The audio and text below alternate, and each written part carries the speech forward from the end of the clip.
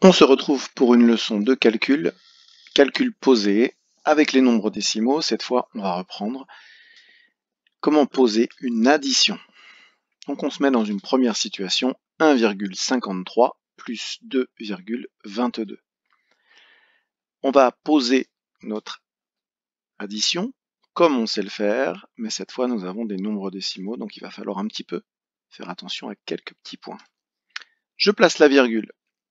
Donc je vais choisir le nombre qui a le plus de chiffres après la virgule. Là les deux en ont deux. Donc je laisse de l'espace pour ce qui vient après la virgule. Et je vais choisir une colonne pour la virgule, la même sur chaque ligne.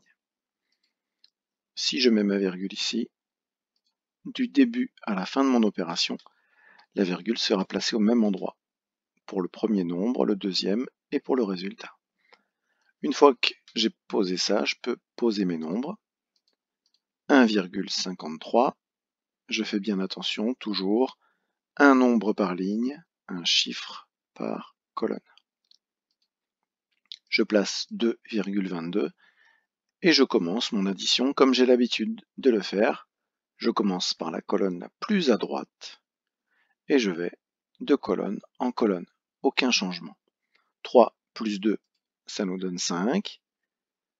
Je change de colonne. 5 plus 2, ça nous donne 7.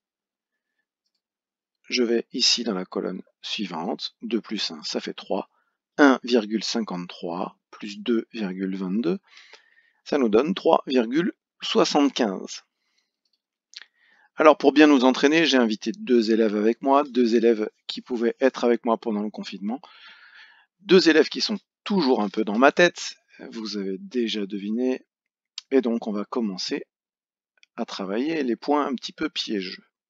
Si nous prenons cette opération 3,36 plus 4,7, j'ai posé cette question à mon élève chouchou, voici Nounouille, qui se pose la question et qui va évidemment comme toujours, se lancer très vite dans le travail. Il prend 4,7, il le pose, il prend 3,36, il le pose. Et évidemment, attention, attention. Donc c'est là où mon deuxième invité va nous dire, voici Futé, il va nous dire, ben oui, bien sûr, ne va pas si vite, nounouille. N'oublie pas, je choisis une colonne pour la virgule, la même sur chaque ligne. Le nombre qui a le plus de chiffres après la virgule, c'est 3,36. Il vaut donc mieux le mettre en premier. Je l'installe et à partir du moment où j'ai placé la virgule, cette colonne sera toujours celle de la virgule. Je place la virgule, je peux même la placer à l'avance. Là maintenant et seulement maintenant, je peux placer mon 4,7 J'aligne dixième avec dixième, le 7 dixième en face du 3 dixième ici. J'aligne unité avec unité, 4 unités que j'aligne avec 3 unités. Là maintenant je suis bien parti et je peux faire mon addition. Ici, pour 4,7, il n'y a rien dans la colonne des centièmes. C'est comme s'il y avait un 0. 0 plus 6, ça fait 6. 7 plus 3, ça fait 10. Je suis donc dans le cas où je dois mettre une retenue que je vais mettre dans la colonne d'après. Alors, évidemment, j'ai pris une colonne pour faire la virgule, pour pas me tromper, mais ça ne correspond pas à une colonne avec des chiffres. Donc, je vais dans la colonne des unités, qui est la vraie colonne suivante. Je place mon 1 ici. Il est mieux de l'entourer pour pas se mélanger. Ici, j'ai des petites cases. 1 plus 4 plus 3, ça fait 8. 3,36 plus 4,7, le résultat est donc de 8,06.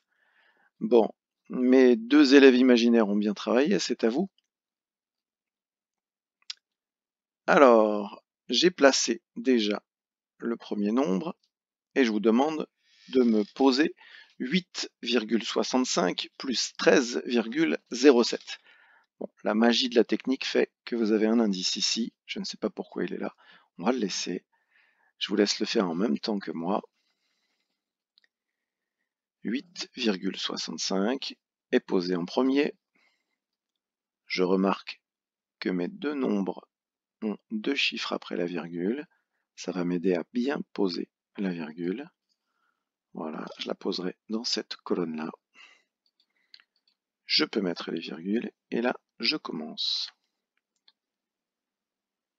Je mets 13,07 et mon addition est bien posée. Je commence par les centièmes qui sont le plus à droite. 7 plus 5, ça fait 12. Je n'oublie donc pas de mettre une retenue ici. 1 plus 6 plus 0, ça fait 7. Ici, 8 plus 3, ça fait 11. Je place donc ma retenue. 1 plus rien plus 1, ça fait bien 2. 21,72. Voilà, vous avez de quoi vous entraîner. Je vous laisse bien travailler là-dessus et je vous dis à bientôt.